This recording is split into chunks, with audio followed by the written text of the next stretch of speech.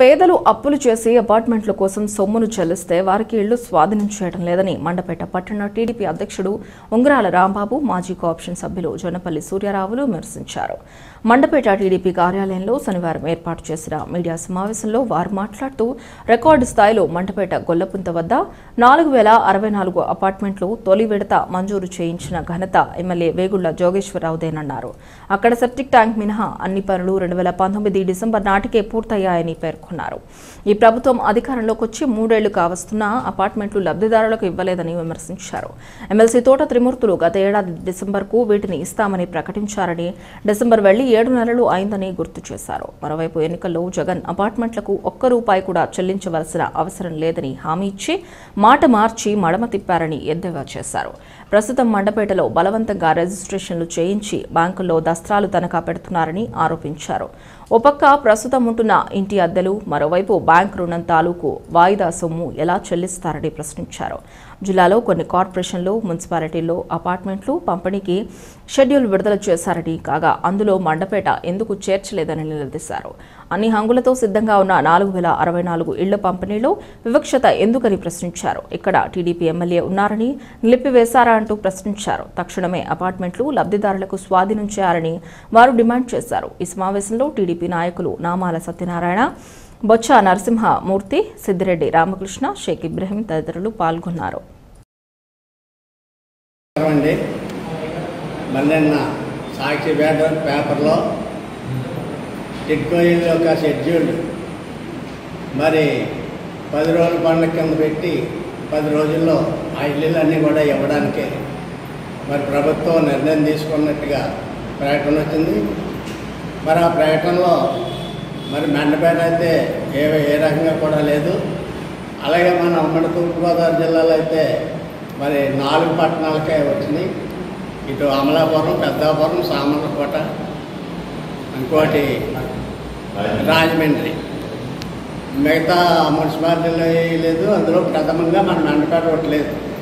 కారణం ఏంటంటే మెండపేట గురించి చెప్పుకోవాలంటే రాష్ట్రంలోనే మొట్టమొదటిగా మన మెండపేట పట్టణానికి మన ఎమ్మెల్యే గారు జోషి గారు మరి అయాల చంద్రబాబు గారిని రిక్వెస్ట్ చేసి నాలుగు వేల అరవై నాలుగు ఇల్లులు మొట్టమొదటి విడతగా శాంక్షన్ చేయించుకోవడం అలాగే మళ్ళీ తర్వాత లిస్ట్ అవుట్ పెరగడంతో మళ్ళీ వెళ్ళి రిక్వెస్ట్ చేసి రెండు వేల రెండు వందల పన్నెండు మళ్ళీ తెచ్చుకోవడం కూడా జరిగింది. అయితే మనకి రెండు వేల పంతొమ్మిది డిసెంబర్ నాటికి మరి నాలుగు వేల అరవై నాలుగు ఇళ్ళు కూడా పూర్తయిపోవడం మరి కరెంటు రోడ్లు మా అక్కడ మంచినీళ్ళు మంచినీటి సౌకర్యం కూడా కా- జరిగింది. పోతే ఒకటి లిటర్ మాత్రం సగంలో ఆగిపోయింది. దాని మరి మూడున్నర సంవత్సరాలు అయినప్పుడు ఈ ప్రభుత్వం ఎక్కడా కూడా నిర్మాణం చేయలేదు. మరి పోయిన డిసెంబర్ కల్లా మేము ఇచ్చేస్తామని చెప్పేసి చెప్పడం జరిగింది మన గౌరవ ఎమ్మెల్సీ గారు తోట నిర్మూర్తులు గారు. అయితే డిసెంబర్ పోయింది మళ్ళీ మళ్ళీ డిసెంబరు రావడానికి సిద్ధంగా ఉంది. అయితే ఇక్కడ ఏంటంటే ఇంకో విషయం ఏంటంటే మరి ఇక్కడ ఆలోచించవలసింది మరి తిరుమూర్తి గారు కూడా చాలా ఆలోచించాలి. ఏం చేద్దంటే లక్ష రూపాయలు కట్టి పేదవాడు మూడు రూపాయలకి ఐదు రూపాయలకి రెండు రూపాయలకి ఇలా వడ్డీలు తెచ్చి మరి ఇవాళ నాలుగున్నర ఐదు సంవత్సరాల నుంచి కూడా వడ్డీలు కట్టుకుంటూ అలాగే మళ్ళీ ఇంటికి అద్దె కట్టుకుంటూ భారీ స్థాయిలో నట్టుపోతున్నాడు మనం ఇచ్చింది పేదవాడికి. పేదవాడనే అనే దృష్టితో మరి పేదవాడు పేదవాడు అని చెప్పి పచ్చారులు చెప్పేటువంటి జగన్మోహన్ రెడ్డి గారికి మరి ఈ రకంగా పేదవాళ్ళకి న్యాయం చేయాలి జరిగిపోయి ఇవ్వాలి అనేటువంటి గుర్తు కూడా ఉండాలి.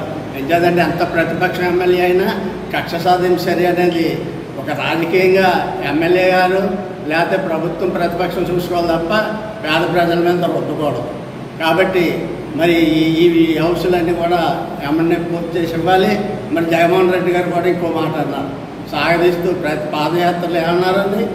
ఈ ఈ మీద ఈ టిట్కో ఇల్లుకి ఏదో మొత్తం ఇరవై సంవత్సరాలు నెలకు మూడు వేలు చొప్పున ఇరవై సంవత్సరాలు కట్టుకుంటూ పోవాలి అని చెప్పేసి పోవాలంట. అలాగ ఉండదు. మన ప్రభుత్వం కానీ వచ్చి మీ అందరి దయవల్ల భగవంతుడి దయవల్ల మన ప్రభుత్వం వస్తే నేను ఊరికినే ఇచ్చి ఆ రుణమాఫీ నేను రుణమాఫీ చేస్తాను ఊరికినే ఇస్తానని కూడా చెప్పడం కూడా జరిగింది. మరి అటువంటి చెప్పినటువంటి విధానం ఇవాళ ఎలా ఉందంటే ఓ పక్కనేమో రిజిస్టర్ ఆఫీస్లో రిజిస్టర్ చేసి దాన్ని బలవంతంగా తీసుకొచ్చి మళ్ళీ బ్యాంకులకి మళ్ళీ తనఖా పెట్టే విధానాన్ని తీసుకొచ్చి ఈ రకంగా పేద ప్రజలు బాధ భావ్యం కాదు. కాబట్టి ఇటువంటి మాని మీరు ఏ మాట అయితే అన్నారో మాట మాట తప్పు మడం తెప్పమని చెప్పేసి మీరు ఎన్నో వ్యాఖ్యానాలు చేశారు పాదయాత్రలో. మరి ఆ రకంగా ఆ మాట నిలబెట్టుకొని ఈవేళ ఉచితంగా ఆ ఇల్లుని ఇవ్వాలని చెప్పేసి మేము తెలుగుదేశం పార్టీ తరఫున డిమాండ్ చేస్తాం